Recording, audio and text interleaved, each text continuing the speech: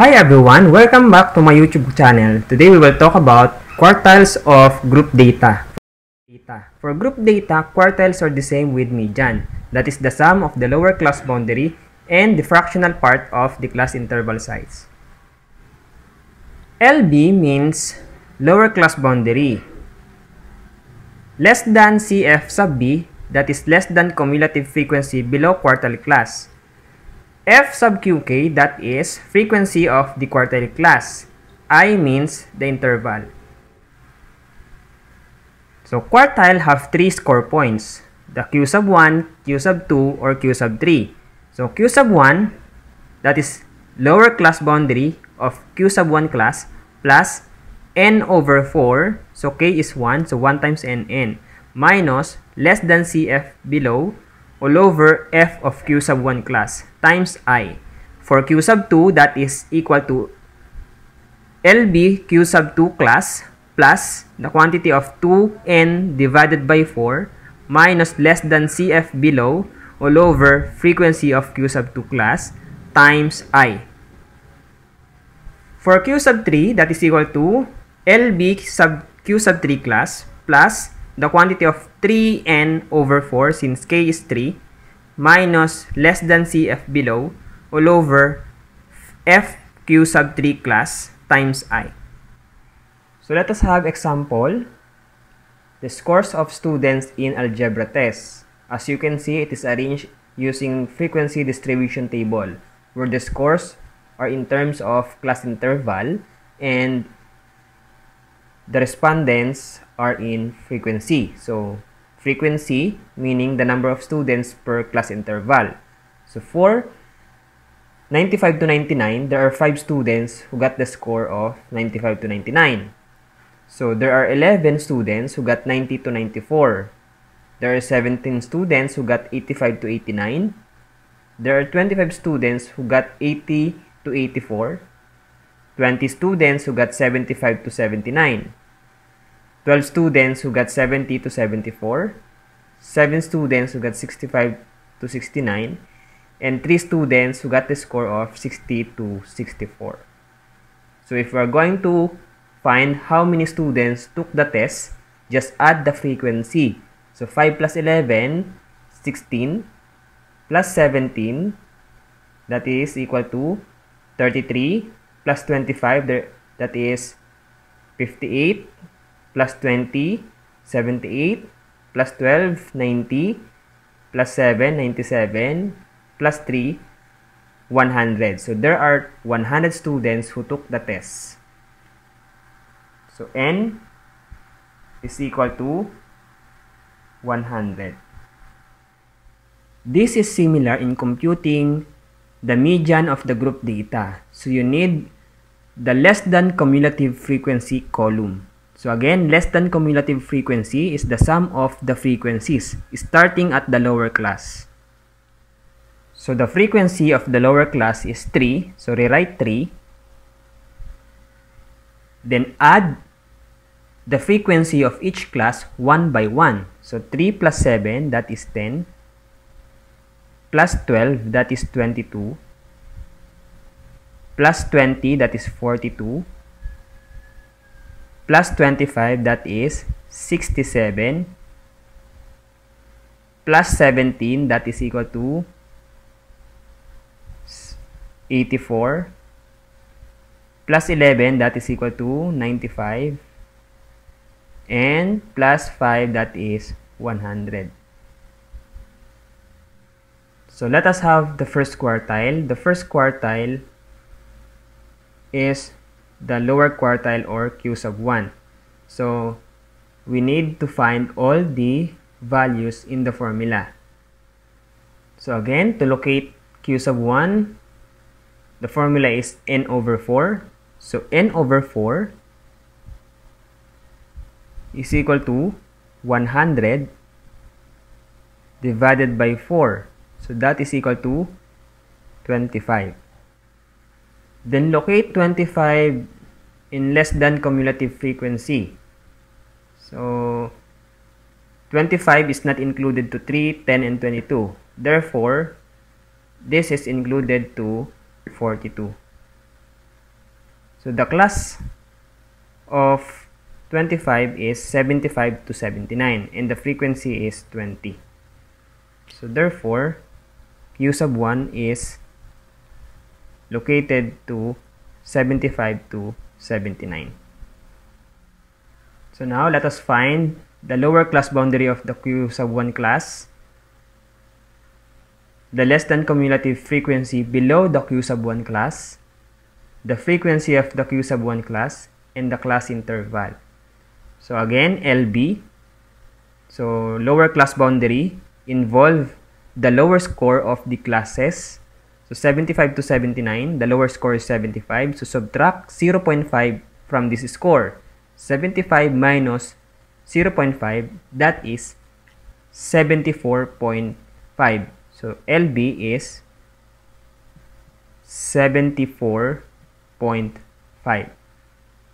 Next, the cumulative frequency below the Q sub 1 class, since Q sub 1 class is here, the cumulative frequency is 42, below it is 22. So therefore, less than cumulative frequency below is 22. For the frequency of the Q sub 1 class, that is 20. And I is equal to 5. The distance between each row. So 60 to 65, that is 5. Now, let us compute. Substitute all the values of the formula. So, Q sub 1 is equal to lower boundary of the Q sub 1 class that is 74.5 plus the quantity of n over 4 is 25 minus cumulative frequency below is 22 all over frequency of Q sub 1 is 20 times the class interval which is 5. So that is equal to 74.5, so rewrite, plus solve the fractional part of the class interval size. So 25 minus 22 is 3 over 20 times 5. So again, 20, 5 divided by 20, that is divisible by 4. So 5, this is 1, and this is 4. So 3 fourth. So that is equal to 0 0.75 plus 74.5. And that is equal to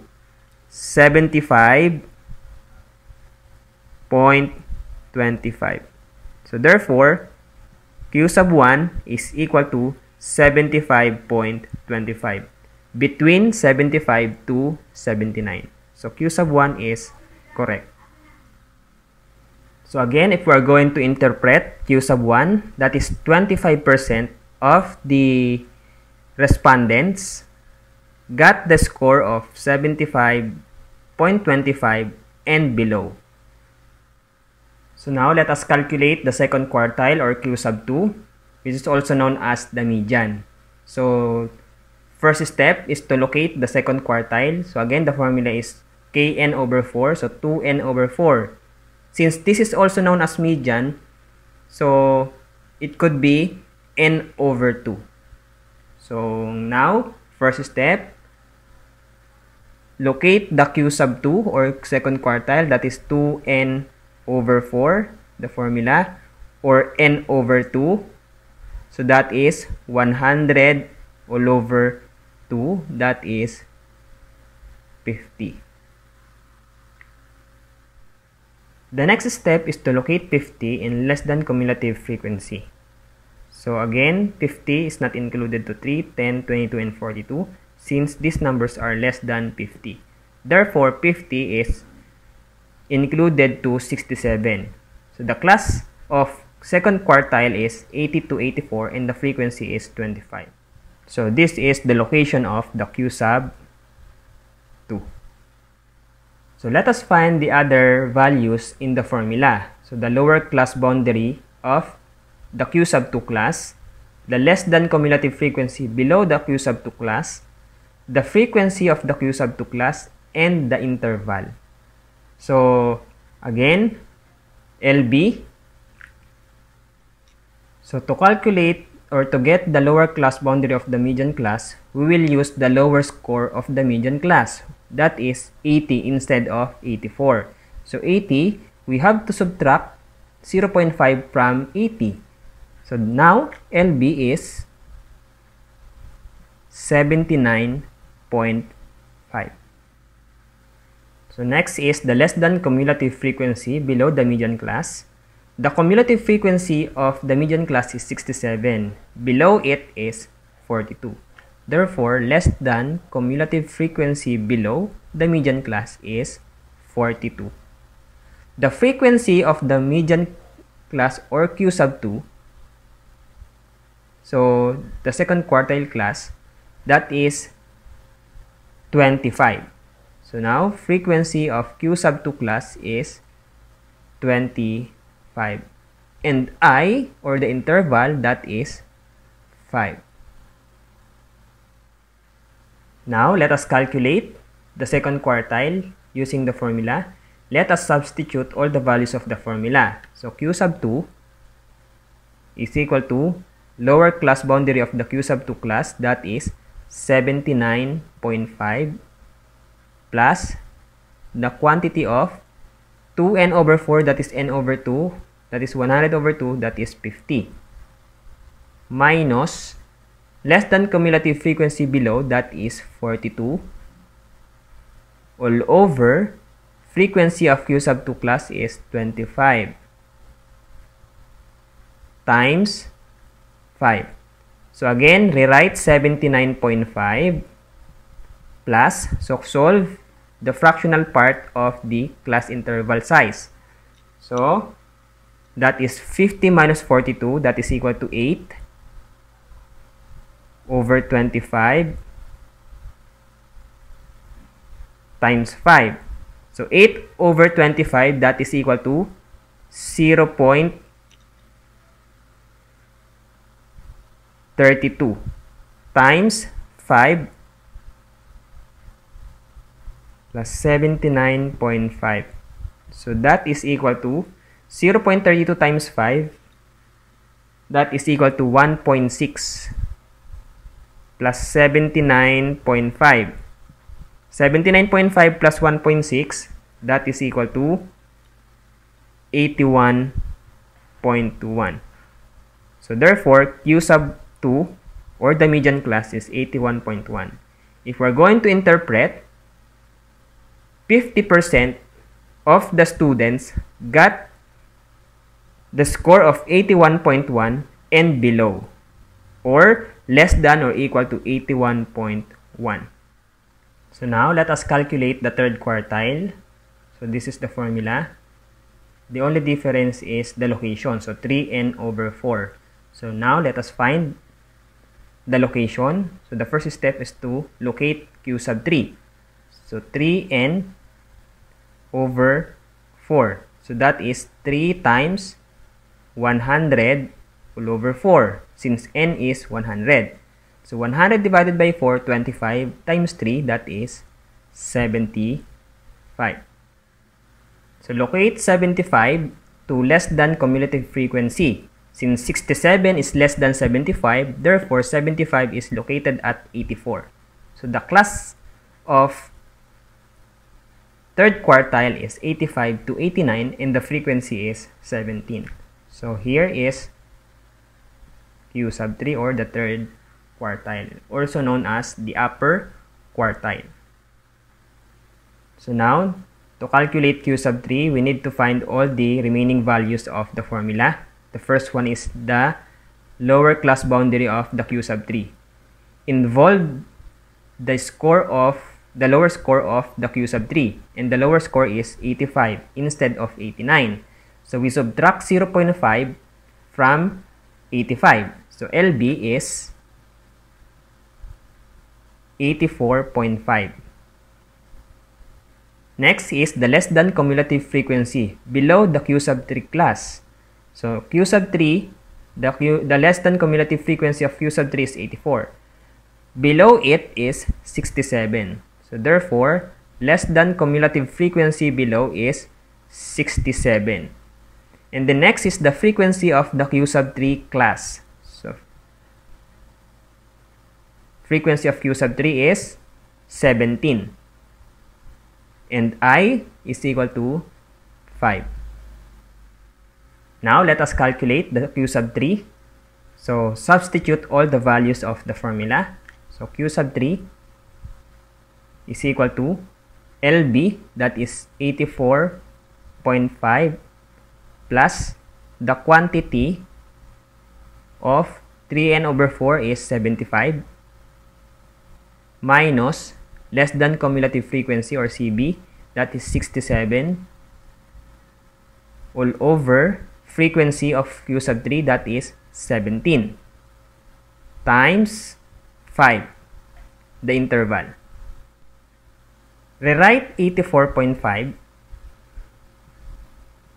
plus solve the fractional part of the class interval size 75 minus 67 all over 17 so that is equal to